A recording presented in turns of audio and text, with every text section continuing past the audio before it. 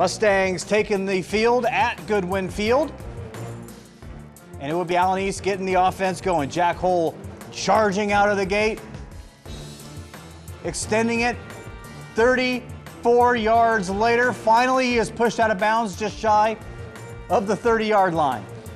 And then Jacob Hirschberger swing pass to Carter Young. And Young makes a couple guys miss. Looks like he's going to be gone.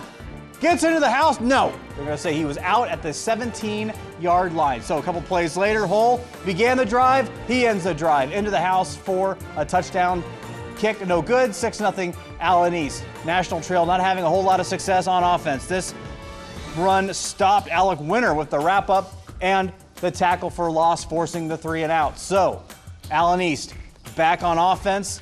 Hirschberger pitches to Young. Plenty in bounds this time, and plenty across the goal line, thrown into the end zone. Two point conversion is good. Allen East goes up 14 to nothing at this point. Mustangs roll tonight. Final score 49 to 8 over National Trail.